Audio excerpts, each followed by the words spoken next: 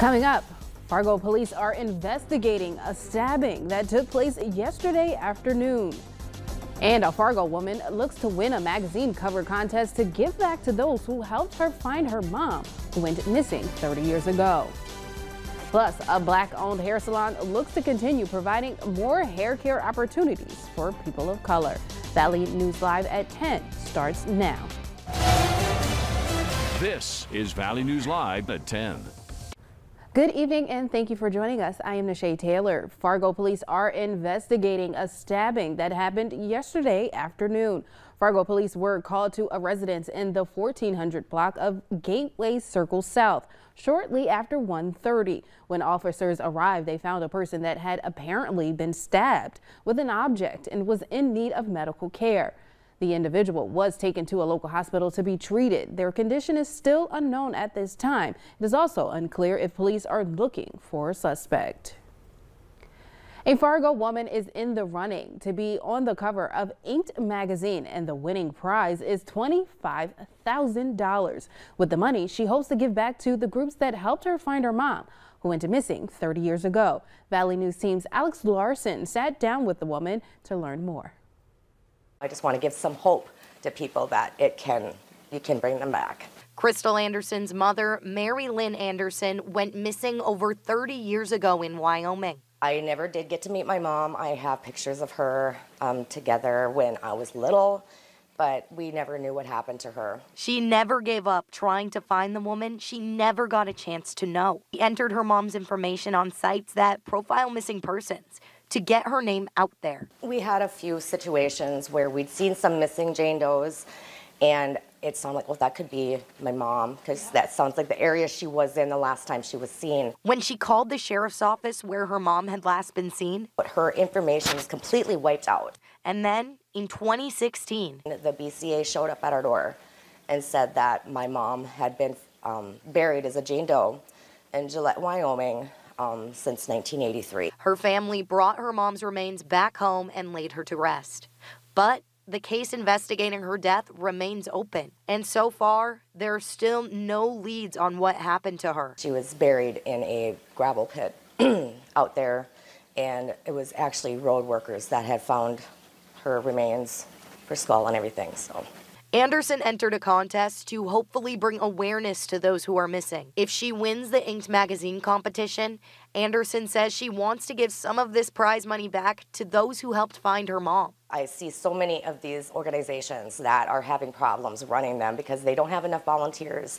They don't have enough money to keep the pages going for everything that they need because a, a lot of these people, this is what they do every day. She's even started a nonprofit of her own to help find missing persons. It's something that my mom would have wanted me to do. You know, I just, I want families to have that help. Um, there wasn't much you know, these kind of things back when my mom went missing. You never give up on them. If we would have given up, you know, it's been over 30 years, but it can happen.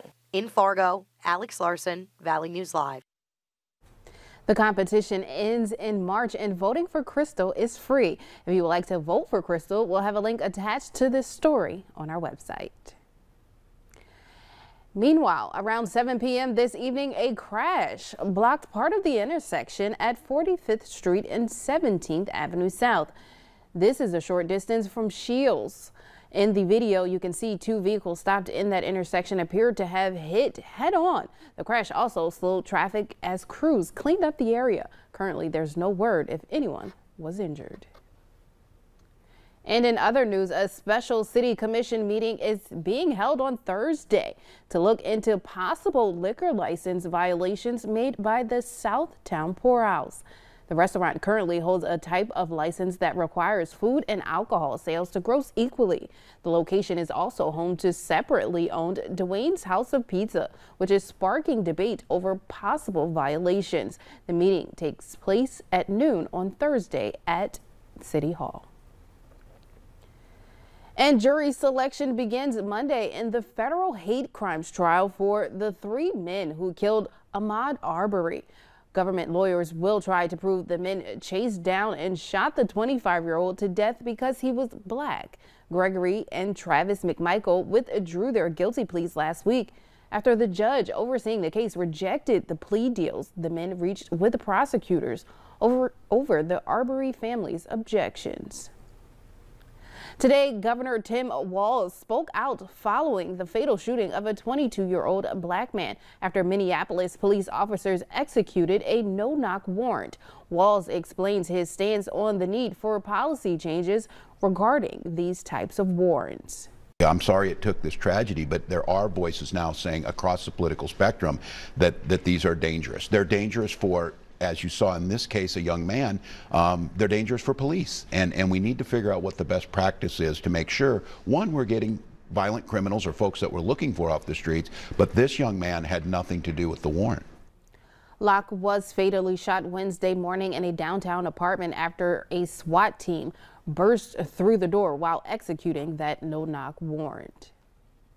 And an emergency car caravan calling for justice for Amir Locke was held tonight in Minneapolis. Demonstrators are demanding the resignations of Minneapolis Mayor Jacob Frey, interim police chief Amelia Huffman, and the judge who signed the warrant.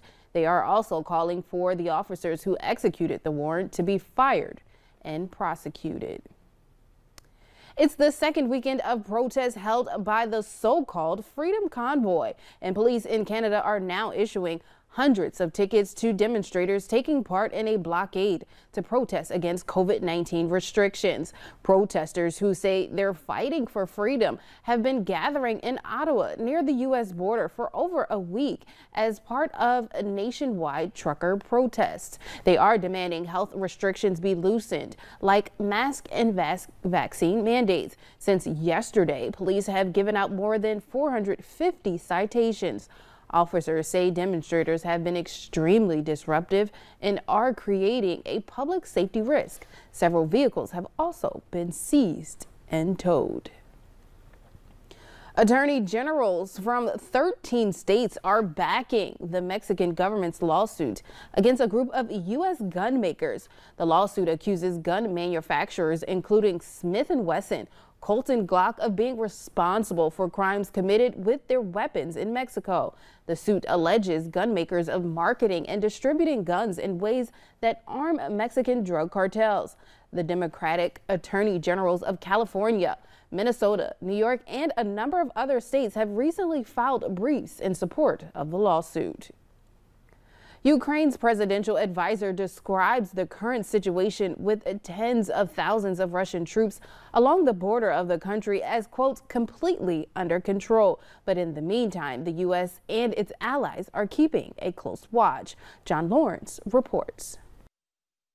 Satellite images taken Saturday appear to show an advance of Russian military deployments at numerous locations in Belarus, which shares a border with Ukraine and where joint exercises are due to begin this week. These are dangerous times, times of the essence. This would be the largest invasion in Europe uh, since World War II. The Kremlin has repeatedly denied it's planning a Ukrainian incursion, but the U.S. and its allies are keeping close watch. We believe that the Russians have put in place the capabilities to mount a significant military operation into Ukraine, and we have been working hard to prepare a response. U.S. troops are heading to Europe to help defend European allies amid the standoff on Ukraine's borders. The Pentagon says 3,000 U.S. troops are going to Poland, Germany, and Romania.